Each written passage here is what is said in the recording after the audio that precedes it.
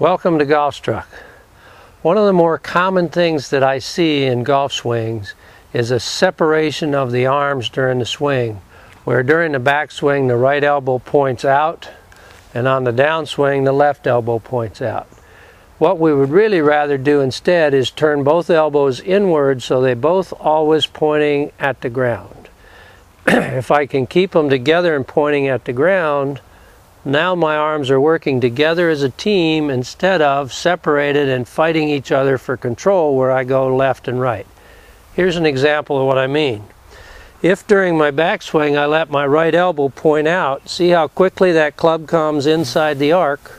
And when it comes in with that elbow pointing out, it forces me to get outside the line and come across the line. Same thing if I go through, if my left elbow points out, my club goes immediately left and I lose all the width to my arc. Whereas if I can keep my elbows together, pointed down, you can see during the backswing my club goes away from my target with a much wider arc.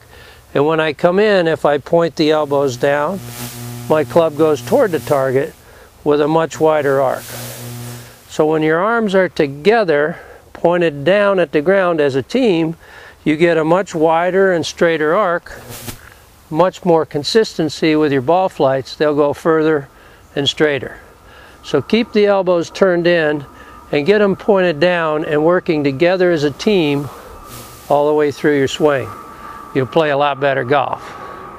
Golfstruck. Better golf right now.